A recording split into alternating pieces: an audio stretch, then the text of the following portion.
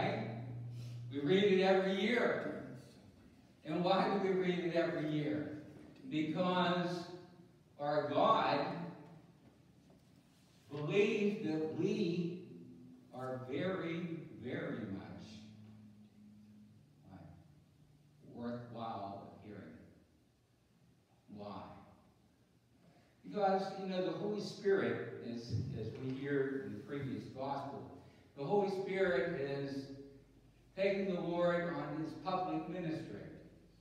Okay, his public ministry, he now goes on, his public ministry is now proclaiming the truth of God and love to all in Galilee. The Pharisees who, who didn't want to hear that because they were very legalistic, huh?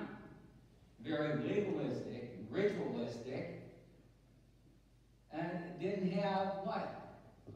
The heart to change, to accept it. And the Sadducees, okay, the Sadducees, they they were naturalistic, huh? very skeptical. Jesus had to teach them too. And they didn't accept it. They didn't accept the truth that he had to give to them. And what about the rest of the Jewish people? How many were in that church of the circumcision? How many, how many became Christians? Well, on Pentecost, we know that 3,000 were added at that day, as the Acts of the Apostle tells us. 3,000 were added after that speech that St. Peter gave, right? That St. Peter gave that speech. And 3,000 came to what? Realize that they needed to what? In that speech of St. Peter, repent. Reform their lives, in other words. And accept baptism. Accept baptism, and then they would receive the Holy Spirit, as we call the Holy Spirit, to then guide their lives. And we are have? That good news preached to us today. Why? Because the Holy Spirit is guiding our lives, hopefully. Right? Hopefully. Do we pray every morning? The Holy Spirit, guide me. Show me the way that I may be what? More holy than I was yesterday. Right?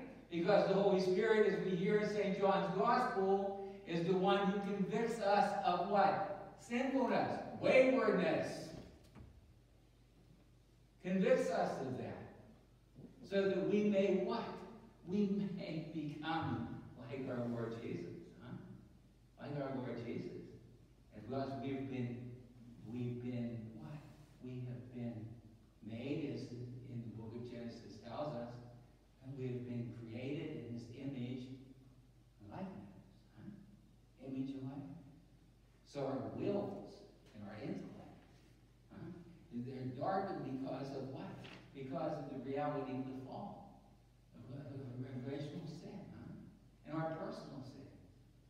And what, what are they? Well, we have to, our standard is what Jesus has taught us, because he's given us everything that we should know.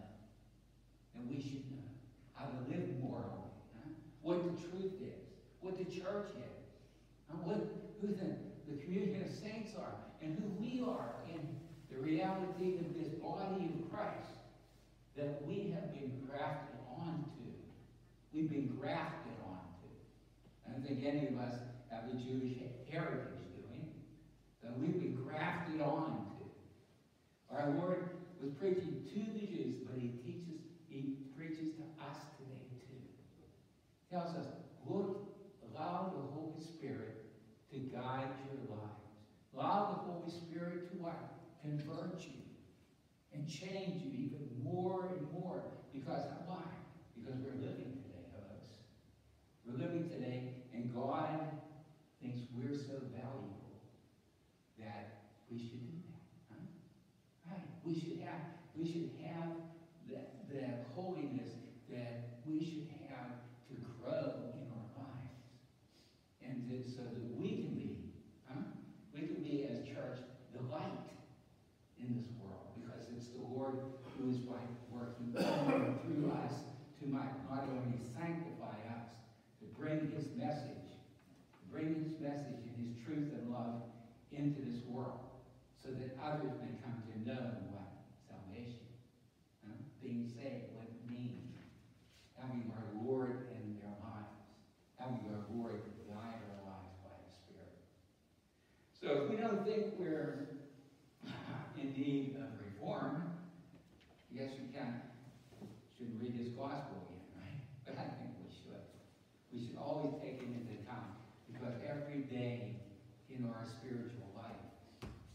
got to grow in a deeper relationship with our God. And our God is not going to leave us where we're at, folks. Because we've been, we have been what? Called to glory. We've been called to glory. We've been called to be, be that light that He's called us to be. And show us the way. To show us that way. And this is this is the important thing. St. Paul is speaking we've been given this, what? We've been equipped. We're being equipped. We're being equipped to be who we are called to be as his children. Are we accepting it?